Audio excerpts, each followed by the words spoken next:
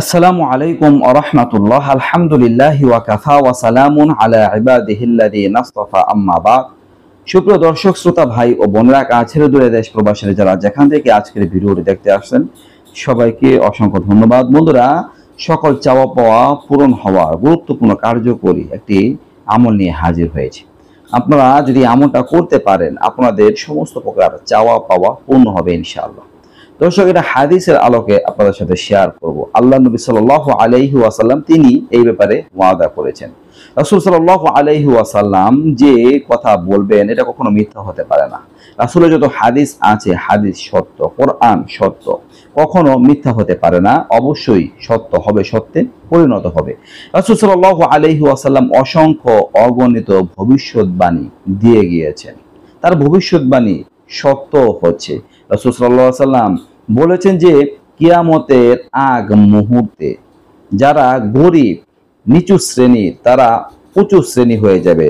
অর্থাৎ যারা নিচু শ্রেণির থাকবে, কামলা থাকবে, কৃষাণ থাকবে, তারা হয়ে যাবে বড় লোক। আর এই বড় বড় দালান কোঠা ইত্যাদি করার পিছনে প্রতিযোগিতা করবে।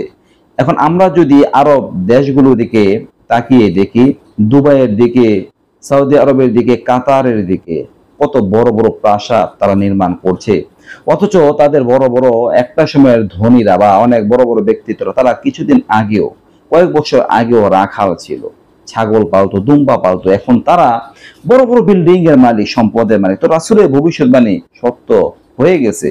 আল্লাহ নবী বলেছেন, ভবিষ্যৎবাণী দিয়েছেন যে একটা সময় আসবে, ভবিষ্যতে যখন পাহাড় খোদাই করে, পাহাড় কেটে কেটে রাস্তা তৈরি করা হবে। এখন তাই দেখা যাচ্ছে যে পাহাড়ের ভিতর দিয়ে ট্রেনের রাস্তা, গাড়ির রাস্তা, এগুলো তৈরি করা হচ্ছে।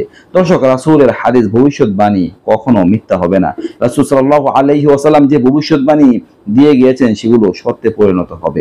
তো দর্শক এই যে আমলটা আপনাদের সাথে শেয়ার করব, এইটা খুবই গুরুত্বপূর্ণ যদি আমরা করতে পারি। আমাদের সকল চাওয়া পাওয়া পূর্ণ হবে। আপনার টাকা পয়সার দরকার, টাকা পয়সার ব্যবস্থা হবে। আপনি অবিবাহিত, বিবাহ করা দরকার, বিয়ের ব্যবস্থা হবে। আপনার সন্তানের দরকার, সন্তানের ব্যবস্থা হবে। আপনার অন্য কোনো সমস্যা আছে, প্রয়োজন আছে, আল্লাহ তাআলা পূরণ করে দেবেন। দর্শক, এক ব্যক্তি রাসূল সাল্লাল্লাহু আলাইহি ওয়াসাল্লাম হেঁটে যাচ্ছিলেন। ওই মুহূর্তে দেখতে পারলেন যে এক ব্যক্তি একটা বাক্য পাঠ করছে। সে বাক্যটা কি?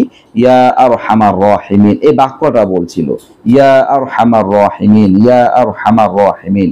এই বাক্যটা সে ব্যক্তি বলছিল। তখন রাসুল সাল্লাহ আলাইসাল্লাম তাকে উদ্দেশ্য করে বললেন, তুমি যা চাও চাইতে পারো, কারণ আল্লাহ তাআলা অনুগ্রহের দৃষ্টি তোমার দিকে রয়েছে। সুবহান আল্লাহ ইয়া আর হামার রহিমিন। এই বাক্যটা এই বাক্যটা যদি আপনি পাঠ করেন, আল্লাহ তালার অনুগ্রহের দৃষ্টি আপনার প্রতি ধাবিত হবে। আপনি যা চাইবেন ইনশা আল্লাহ আপনাকে আল্লাহ তাই দান করবেন।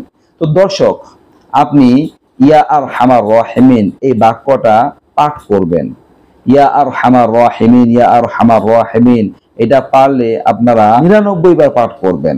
নিরানব্বই বার পাঠ করে আল্লাহ তাআলার কাছে দোয়া করবেন, মোনাজাত করবেন। আপনার মনে যত বিষয় আসে, আছে, চাওয়া পাওয়া আছে, আল্লাহ তাআলার কাছে তুলে ধরবেন ইনশা আল্লাহ আপনার সমস্ত চাওয়া পাওয়া পূর্ণ হবে মনের আশা আল্লাহ তাআলা পূরণ করে দিবেন। ইয়া আর হামার রাহিমিন, ইয়া আর হামার রাহিমিন, ইয়া আর হামার রাহিমিন, এই হচ্ছে বাক্য। আল্লাহ নবী এই ব্যাপারে সুসংবাদ দিয়েছেন। আল্লাহ তালা আমাদের নিরাশ করবেন না। তো দর্শক, আমরা সবাই এই আমলটা করব ইনশাআল্লাহ। আল্লাহ তালা আমাদের সবাইকে তৌফিক দান করুন, আমিন। এই ছিল বিষয়টি নিয়ে আলোচনা। নিত্য নতুন আরও ভিডিও পেতে সবাই পাশে থাকবেন। আসসালামু আলাইকুম রহমতুল্লাহ।